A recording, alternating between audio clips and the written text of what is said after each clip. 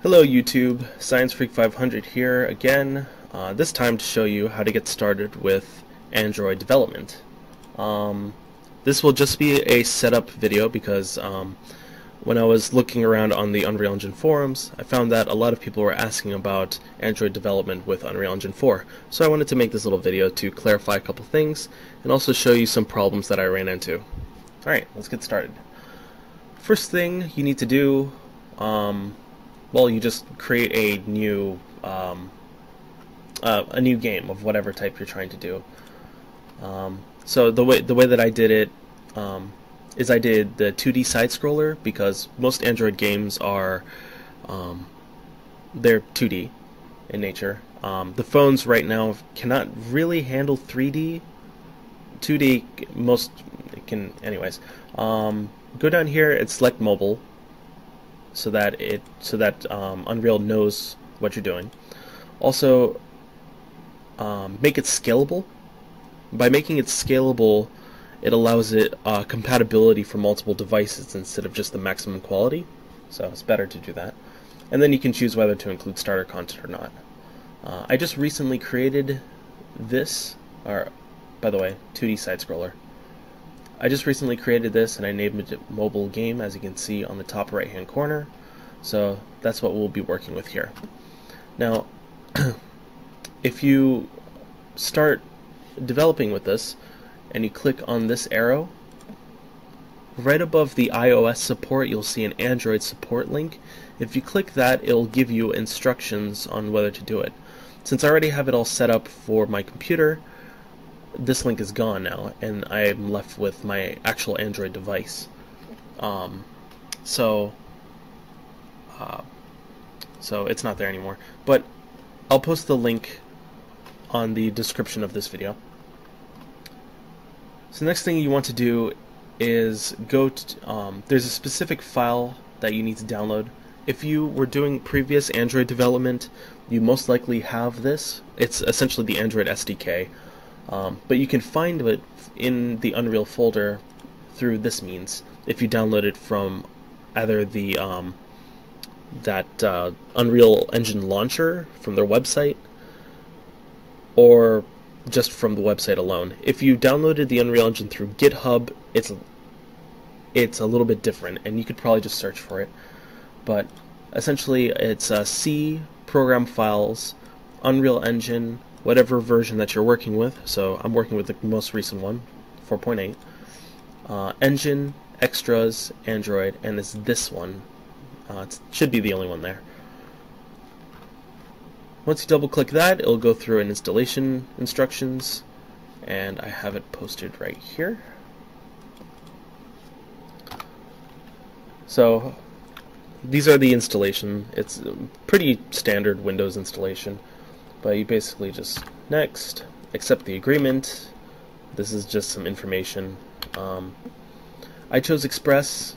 You can choose custom if you know what you're doing, but Express worked perfect for me. So um, then uh, the installation directory, it should be already set to this, but in case it's not, make sure it's set to C NV pack. Then, um, well, I'll just give you a description. If you're using a proxy for your internet, add it here. Otherwise, you can just leave it alone. Uh, this next step is actually going to download the SDK. So this, for me, I think took like maybe 15 minutes. Um, it is a pretty big file, so make sure you have enough space for that. Um, next, it's going to actually install what it just downloaded. Um, the installation for me took maybe seven minutes, approximately. It might it might take longer. It depends on your system. Uh, and then after the installation, it just kind of verifies the information and done. So it's pretty simple in that way. Uh, the next thing you need to do is uh, go onto your phone and make sure that your phone is in developer mode. Um, and there's ways to do it. I'm going to be showing you how to do it for the um, Samsung Galaxy 5S because um, that's the one I have. Otherwise, you can just look online on how to get develop the developer windows on there. because you need to enable USB debugging. So here we are. Alright, uh, to enable the developer console on your phone, uh, what you need to do is, or this is the Samsung Galaxy S5 by the way, uh, what you need to do is go down, go up to settings, um, and scroll to where you see um, the information, so about device. Let me click that. Scroll down some again until where you see build number, and you want to poke that seven times. When you do that, it will say down here um, that the developers is thing, the sorry, the developer uh, window is now enabled. So just go back, and you'll see right here now the developer options has appeared. When you click that, uh, should be enabled. You want to turn on USB debugging. Uh, this is just a little warning saying that it's for development only, but you're a developer, so click OK. And there's other cool little things in here, like if you want to see your uh, your touches, you can press that, or if you want to do some debugging lo location-wise on your phone, you can enable show point location, and I don't know if you see on my screen right now, but there's some other information that appears, uh, so on and so forth. So those are just little other tools that having the developer pane open will allow you to do. It's pretty nice. But once you do that, uh, just make sure that your USB is plugged in to your computer and you're good to go. Okay, after you do that, now um, you need to make sure that it is actually linking with your computer because once you enable the USB debugging mode, um, you need to essentially establish the link with the computer so that Unreal Engine now knows that it exists. So to do that, um, plug the phone in. Mine's already plugged in. Um, plug the phone in by USB to your computer, and open up the command prompt. So type in CMD, and you're going to use ADB. Yeah, okay. Just had to make sure. ADB devices. When you type that in, if everything's working properly, you should see uh, this, well, your number, which stands for your phone. Um, after you do this, the link has been established from computer to phone, and you're good to go. You can just close that. Now, after doing all those steps, you should now see uh, that you're able to actually select devices. However, you're most likely going to get an error, and that's because of two things. One, you need to set up information on um, or within your um, project settings. So if you go down to where it says Android, notice how this project is not configured or not configured for the Android platform. Uh, once you hit configure, you can set up some information for both of these. Um, really, the main information that that you need is right here, uh, the package name, which I guess is not totally important so you can just, I don't know, tutorial.game. Um, version number, you can leave that. Um, you can choose to do landscape or portrait view. Set to landscape. Um, extra settings, if you pull it over here, you don't really need to worry about these um, the key store this is stuff that you also need to add um, so you need to add like I don't know my game. Uh, the key store password it can be whatever you want. Example.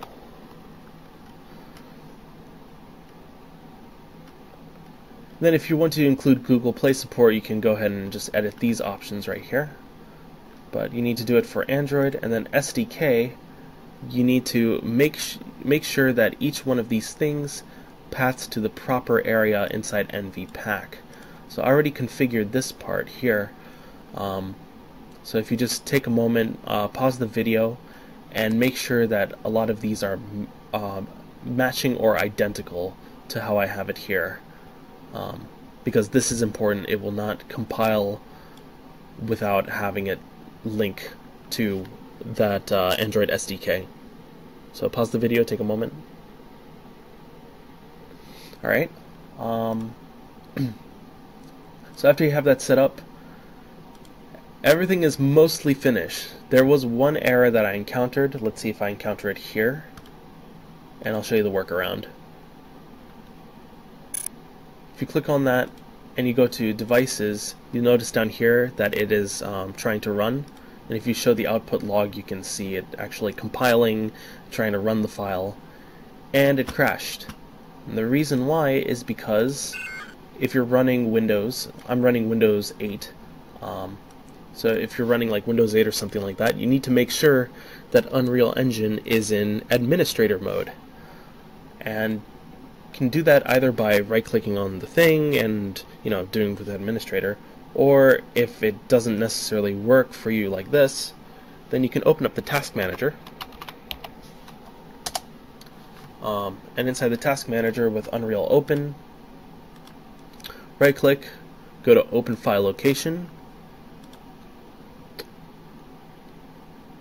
and then uh, right click on the uh, UE4 editor here, run as administrator, and then just close this one. And as soon as you run, run it as ad as uh, administrator, it should work. So we're going to go ahead and do that. And then this can be closed.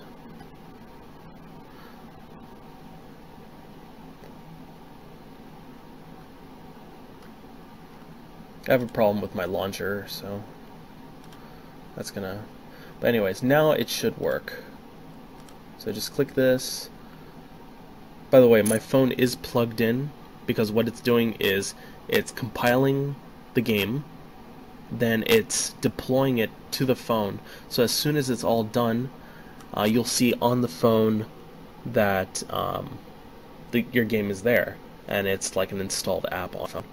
Uh, so you can use that for just debugging or for uh, testing out your game to see the functionality, and then you can actually begin the development phase. But this process may take a little while. I'm going to just skip forward until it's all done. Okay, so it says launch complete on the bottom. And now, or just to show you a couple things, um, should say down here, I saw it earlier.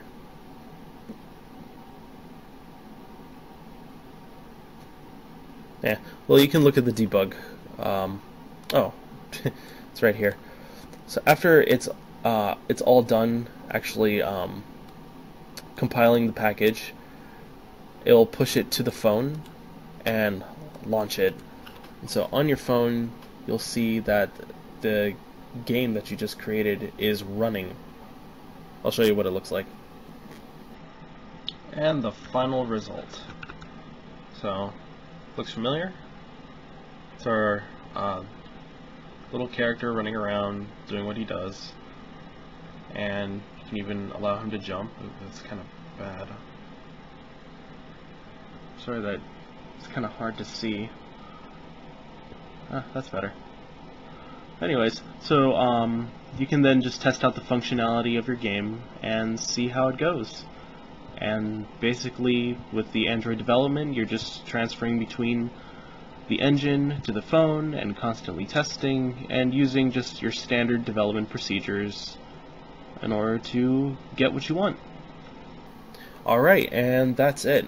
So if you have any questions, um, please feel free to leave it in the comments.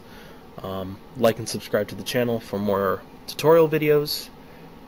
And also, if you have any uh, issues and other problems with getting this to work, make sure to leave it in the comments. Um, I'm pretty good at replying back, and I'll see if I have a solution.